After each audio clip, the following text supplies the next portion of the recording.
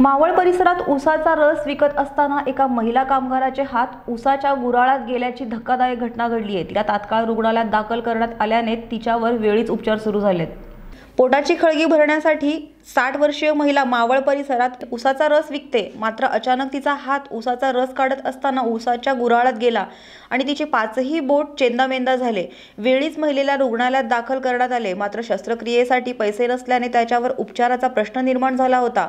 मात्र बडे हॉस्पिटलच्या डॉक्टरांनी तात्काळ मोफत शस्त्रक्रिया करून एक आदर्श स्थापित केला आहे. सध्या महिलेची प्रकृती स्थिर असून तिच्यावर उपचार सुरू आहेत.